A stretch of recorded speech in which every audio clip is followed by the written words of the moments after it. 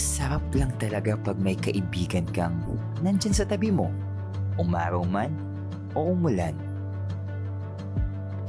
Yung tipong kahit anong problema man ang dumating, eh may masisilungan ka. Pero akala ko na ganito lang iikot ang mundo. Hindi pala ganun.